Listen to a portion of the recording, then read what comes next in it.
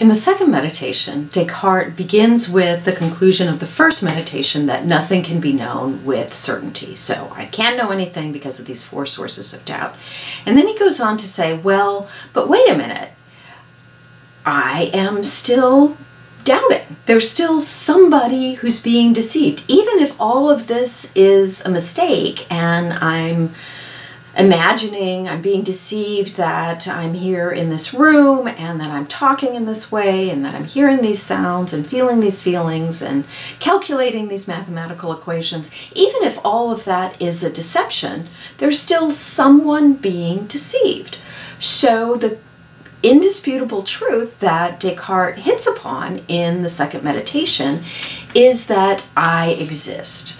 I still exist. There's someone that exists who is being deceived.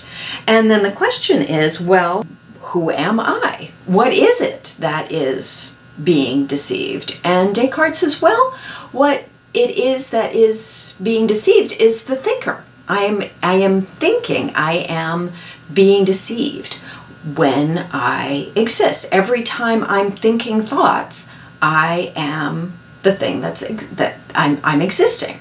And so he hits upon this formula that is very famous cogito ergo sum. I think, therefore I am. So while I'm thinking, I must exist. This is the conclusion, this is the beginning of the second meditation, and is what Descartes takes to be the firm foundation of knowledge, of all knowledge, is based on the fact that I exist while I'm thinking. And it's important to recognize what Descartes defines as thinking. It's not just having abstract thoughts or doing mathematics. Thinking includes uh, doubts, understands, affirms, denies, wills, refuses, imagines, and senses. All of those things count as forms of thinking, including imagining and sensing, which will be important later on. So, uh, so your your sensation is part of your thinking. So even if you're daydreaming, you're not having any abstract concepts, uh, that still counts as the sort of thinking that Descartes has in mind here that affirms that you exist. So any possible contents of your consciousness count as thoughts, according to Descartes, and affirm that that is who you are. So again, here, take a moment and and think. You know, do you agree that uh, you exist while you're thinking? Uh, does this seem like to you a foundation of absolute knowledge? Is it something that you can count on uh, even when um, everything else might be a deception? Um, and think about whether this counts as what you are essentially. Are you essentially someone that doubts and understands and senses and imagines? Or might you be something else? Uh, what if your capacity for those things disappears? Do you disappear? After establishing that he exists and that he can know that he exists, the next question for Descartes is to try to figure out what else he might possibly know. How else can he establish knowledge uh, on the basis of just this bare fact that he exists? And he thinks it's it's reason and understanding that is going to be the basis for knowledge. And this is how he gets it. He gets to this conclusion by looking at the wax. Um, this is a famous wax example, and I want you to uh, look at this in your books. Go to section 30. You'll have different editions. The section 30, the section numbers are on the side of the margins, um, you know, and they're designed for these older texts to help you get from various different editions to the same place. So look for section 30 in Meditation 2 um, and you can read along with me about the, the wax example. What Descartes is arguing here is that even our knowledge of bodies is known through understanding and not sensation. That we uh, think that we know things through looking at them and perceiving them, but in fact, we know them through reason and understanding. And so this is what he's going to try to prove through the wax example. So section 30, he says, and the paragraph starts, let us consider. Let us consider those things which are commonly believed to be the most distinctly grasped of all, namely the bodies we touch and see. Those are the things that we think we know the most, things that we touch and see. So let's look at that and see if, if that's how we know them. Not bodies in general, mind you, for these general perceptions are apt to be somewhat more confused, but one body in particular. Let us take, for instance, this piece of wax. It has been taken quite recently from the honeycomb. It has not yet lost all the honey flavor.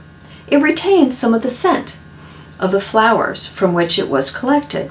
Its color, shape, and size are manifest. It is hard and cold. It is easy to touch. If you rap on it with your knuckle, it will emit a sound. In short, everything is present in it that appears needed to enable a body to be known as distinctly as possible.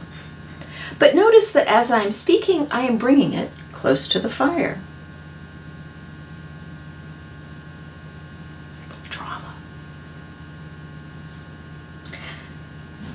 The remaining traces of honey flavor are disappearing. The scent is vanishing, the color is changing, the original shape is disappearing. Its size is increasing. You can't see that through the camera, but it is becoming liquid and hot. You can hardly touch it. And here we can see this maybe if it's burned enough, not quite. There we go, there we go. So it's liquid and hot, it's dripping, it's changing shape. And now when you rap on it, it no longer emits a sound. And I'm not going to rap on it, that's pretty hot wax. Does the same wax still remain? I must confess that it does. No one denies it. No one thinks otherwise. So what was there in the wax that was so distinctly grasped? Certainly none of the aspects that I reached by means of the senses. For whatever came under the senses of taste, smell, sight, touch, or hearing now has changed, and yet the wax remains. So, despite all of the sense perceptions of this wax changing when it starts to melt, it's nothing the same. Still, we all agree that it's still wax. So, all of the sensory qualities of the wax change when heated, yet the wax remains. So, we need to think about well, what is the wax? How do we know that the wax is still the wax? And so Descartes goes on. Perhaps the wax was what I now think it is.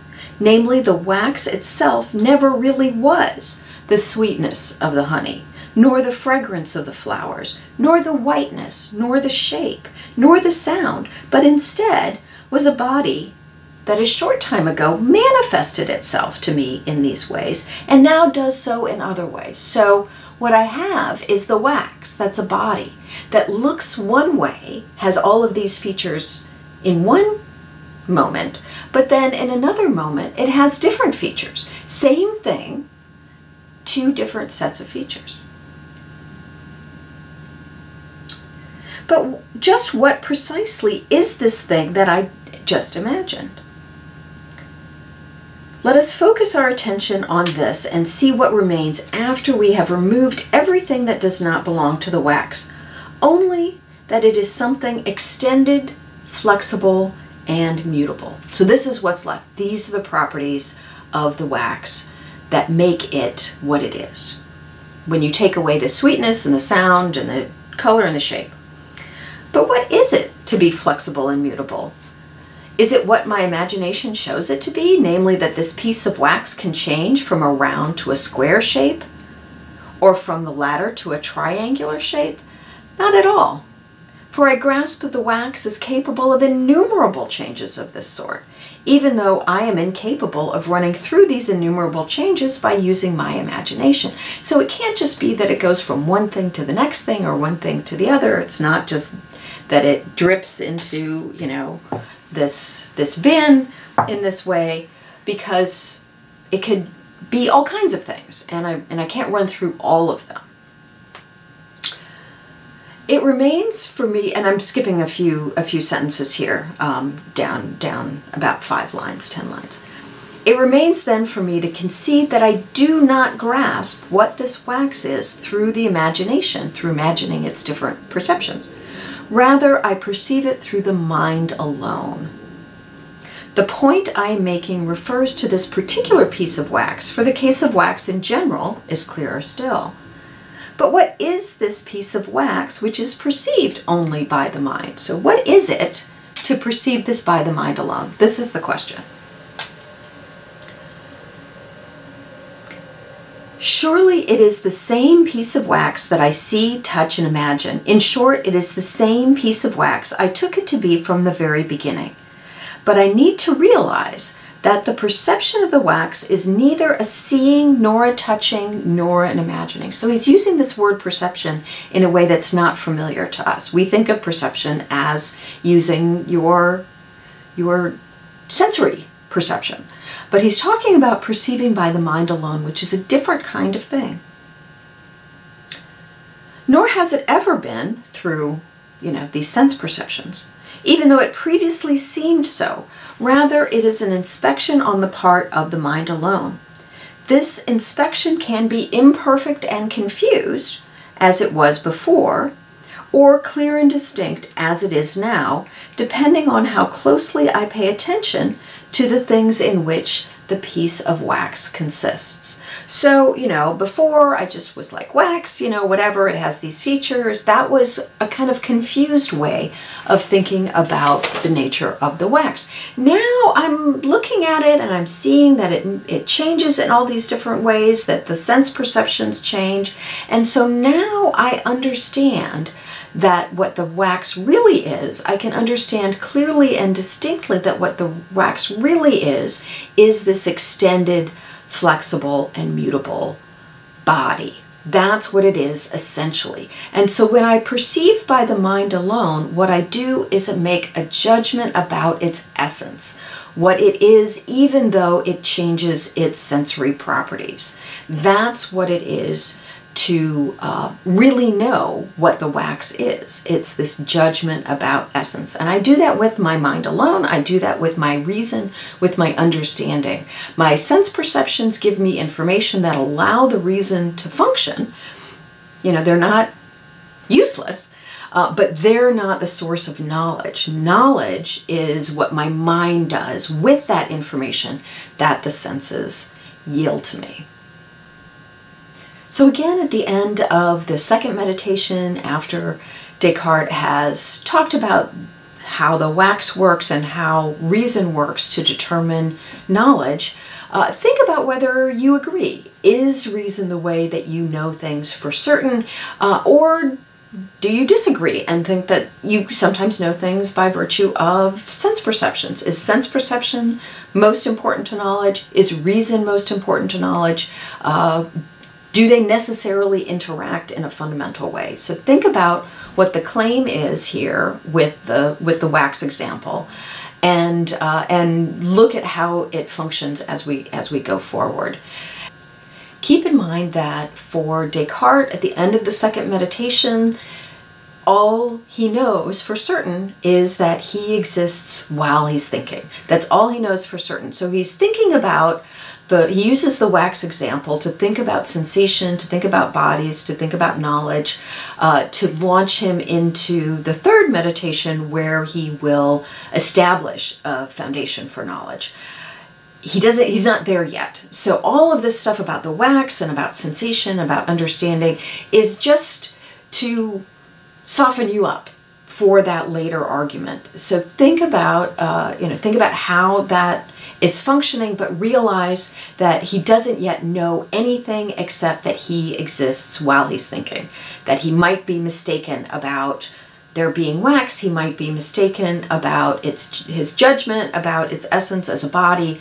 This is all uh, just preamble for establishing that he's not being deceived when he has these clear and distinct perceptions. That's something that's going to happen in meditations three and four and five.